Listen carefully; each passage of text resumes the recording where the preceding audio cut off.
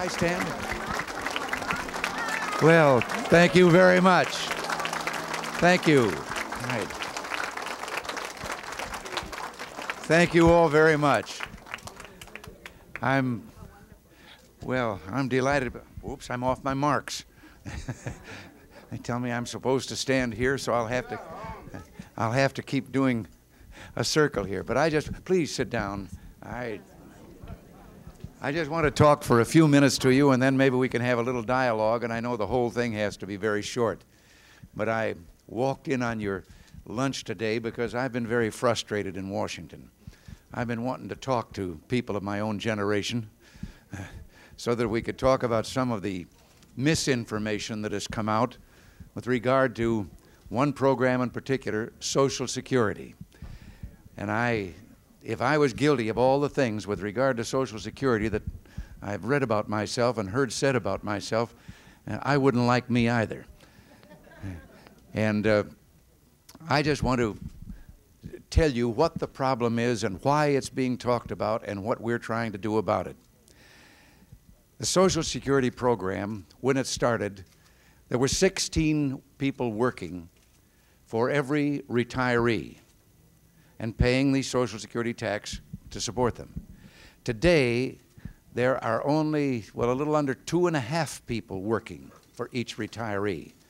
And this has presented financial problems. And in recent years, the Congress has tried to resolve those problems of fiscal stability by simply raising the tax and raising the percentage of income against which that tax is assessed. In 1977, they passed the biggest single tax increase in our nation's history.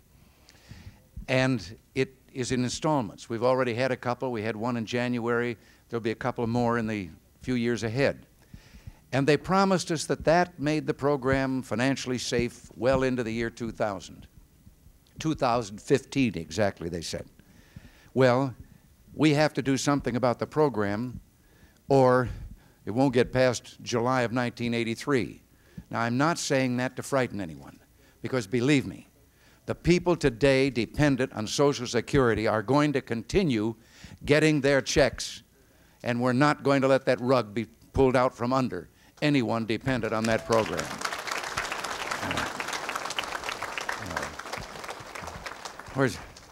I must say the timing is right for me to be here since those of you who are getting Social Security got that cost of living pay raise on July 1st also. I, re I remember when they said we wouldn't, but we did. Now, what we, it became such a political football, uh, with many people trying to make some political edge out of this, that what I finally settled for and got the concurrence of the Speaker of the House, Tip O'Neill, and the Leader of the Senate, Howard Baker, and that is we, between us, the three of us, appointed a commission which will come in in December with recommendations for a program as to how we meet the fiscal problems for the ongoing integrity of Social Security. And again, I say with regard to that, that the instructions that were given to them and that I will still hold to is that any program, and I think there are ways that this can be put on a sound basis, but whatever they do must agree with what I said just a moment ago to you, that any plan for change in Social Security must not take away from those people dependent on that program today. That, that must be guaranteed, and we will, we will stay with that. And now, I've talked longer than I intended to because I know that maybe some of you have said to yourselves, boy, if I could only ask him something or tell him something, I would say. And uh, if you have a question, fire away. I've got a few minutes left, and yes. I'm glad you asked that. This gentleman asked me, why did I change my haircut? I didn't. I saw that article.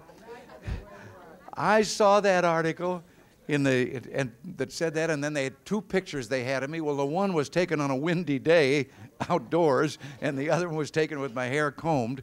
And incidentally, I just washed my hair the night before last, so it's a little fluffy right now. But no, uh, the only thing that happened to me was I, there was a time this winter when I think, uh, without my realizing it, he was letting it get a little longer than I like, and I took him to task and said, crop it with the way it was.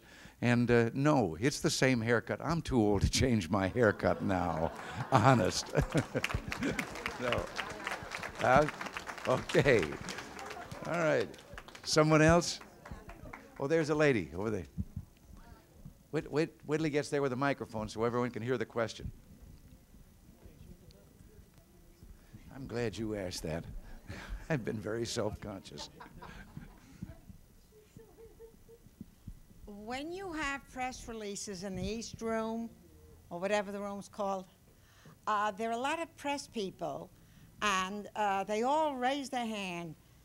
And it's, it's interesting to know which ones you pick and how you pick them. I mean, should they be numbered so that they know they're going to be chosen? Or do they just write them on the cuff and you take a chance? You, you all hear the question there. Well, let me tell you, this is one that, and I've confessed to them that it bothers me very much. The, there are hundreds who are uh, accredited as White House correspondents who are there. Uh, there are two automatic. The first two questions come alternating which is first and second on each press conference between the representative of the United Press and the representative of the Associated Press. So those two ask the first questions. From then on, it's up to me. And I know that there are going to be dozens and dozens more hands raised than I can possibly recognize. So really, I just simply kind of try to spread it around. I've started in the middle and I start in here and there's it's, they're in three sections and I try to take some from each section and I leave with more hands up than were recognized. We did try at the beginning, and it was a press suggestion. The, uh, very early on, the press suggested, why not draw lots? That they draw, that we draw numbers, and they all have numbers, and then just simply say, all right, this, this number. Well, we did it once, and the press said they didn't like it.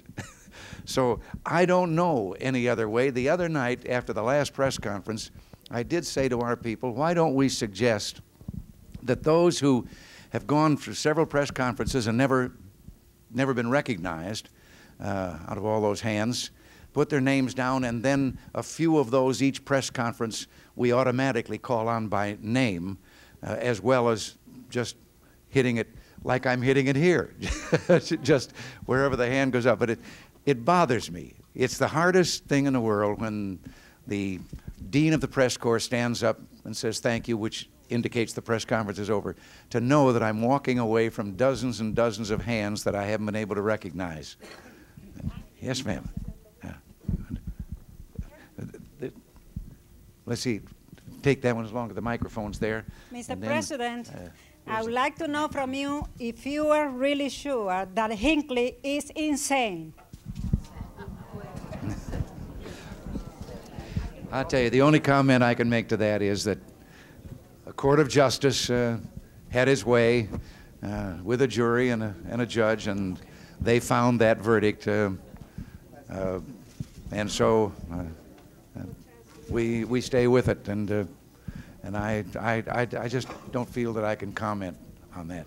We, but here's a, I've been, I've been kind of leaning to the left here, haven't I? I better. Mr. President, yes. I'm in a musical comedy and with veteran performers and they're all over 60 years old. And after each performance, I get uh, many people come to me and say, "You certainly fa um, favor uh, Nancy Reagan, your wife." Do you think so? yes, I can see why they say that. Yes, I can. All right, and uh, I shall tell her. Yeah. no, I look forward to telling her. This is her birthday today. Yes.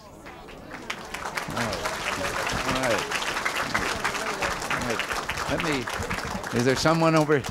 Yeah. Mr. President, as a member of your task force, presidential task force, I would like to let you know that in the symposium on social security, we are informed. I want you this please to verify. There are 117 million people putting in the security system, and only 65 million are drawing out of it.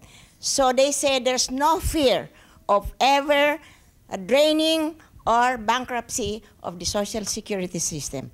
And one more, Mr. President. This is my opportunity to see you uh, in person. I have always talked to you only by telephone. And I'm very happy for that. One thing more is about the nutrition program that is exactly fearing that so many cutbacks had been placed on it. And therefore, Mr. President, be compassionate, not to touch our very important benefits for the senior citizens. Thank you, Mr. President. Thank you. And uh, no, we won't. Is there? I'm. Oh, they tell me I can take one more question. Uh, the lady right there. Say, gentlemen, you've been sitting back here and letting the ladies. this is the last question I can take. Mr. President, I just only want to tell you that I met you in um, Rancho Mirage, Rancho Mirage, over the Sunnylands. And I don't know if you remember me, but I remember you when you was governor. And also, now I'm very glad to meet you as a president. So, well, my congratulations. Well, thank you very much. Well, that wasn't a question, so I'll, I'll take a. Uh, is there a what? Uh, well, I, I know I won't have time to do much of that, but since you asked about the haircut, well, uh, is there what? Oh, here's a gentleman right here with a question. This will have to be the last question. No. Oh. Oh. Well. Well, here's a gentleman right over here with a question then. We'll, and that'll have to be it. Mr. President, you and I met in pictures. We worked, I worked in pictures, and when you were governor of California, every year you sent my late wife and I congratulations, and I still got the one that you remembered well, this year. It's nice to see you. Well, God bless you. Well, thank you very much. It's nice to see you again. My name is Jack Smith. Yeah. Thank well, you, Mr. President. Thank you very much. All right. Let me just let me just say a word here, if I can. I've said this on occasion before. Told a little incident. You know, everyone today emphasizes uh, youth so much, and there have been so many efforts. I know that young people, we were the same way. You kind of challenge uh, the things that you've learned from the people that went before, and you uh, the mores and the customs and everything. I get concerned sometimes that there's a tendency to throw away some of the values just because they're old without recognizing that they have true worth or they wouldn't be around. But one day back in those riotous days, the universities were in flames and so forth while I was governor. And if I went to a campus, I'd start a riot. But some student leaders from the University of California campuses de demanded to see me as governor. And I was delighted because as I say, I couldn't talk to them otherwise. Well, they came to see me, and they kind of, some of them were barefoot, and the custom of that day and the, in those uh, riotous times. And they all sat around, and one of them was the spokesman, and he said, Governor, it's impossible for you to understand our generation. Well, I tried to pass it off. I said, We know more about being young than we do about being old. And uh, he said, No, I'm serious. He said, You can't understand your own sons and daughters. And I, he went on then. He said, You didn't grow up in an age of instant electronics, of jet travel, of space travel, and journeys to the moon. You didn't have, and he went on with all the things, cybernetics, and all the things that we didn't have, and so forth. And he talked just long enough. Usually, you know, you don't think of the answer till they're gone. But he talked just long enough that when he finished, I said, You're absolutely right. Our generation, we didn't have those things when we were your age. We invented them.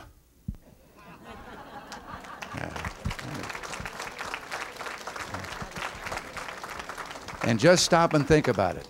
We did. In our lifetime, all those miracles they were talking about came into being. I can remember my first automobile ride. Up until then, it had been horses and buggies. And now, the other day, I'm out watching those fellows come back from outer space. They, when we got on the platform to see them land, they told me it was 20 minutes till landing. Do you know where they were 20 minutes before they landed? Just crossing over the Hawaiian Islands. And in 20 minutes, they were at Edwards Air Force Base.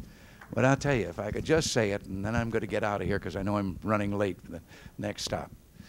I'm very proud to be here because I want to say this about our generation. No, some there are generations that preside over transition periods like this, when there are great changes in the world. And we've been one of those. And no generation in history, no people, have ever fought harder, paid a higher price for freedom, or done more to advance the dignity of man than our generation, and I'm not going to apologize to anyone for what we've done with our lives so far. God bless you all, and thank you very much.